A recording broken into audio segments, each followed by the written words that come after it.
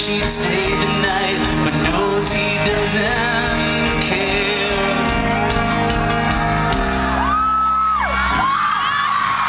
Home by three, Daphne quiet, the porch lights off, cause they forgot it. She cried herself to sleep, but she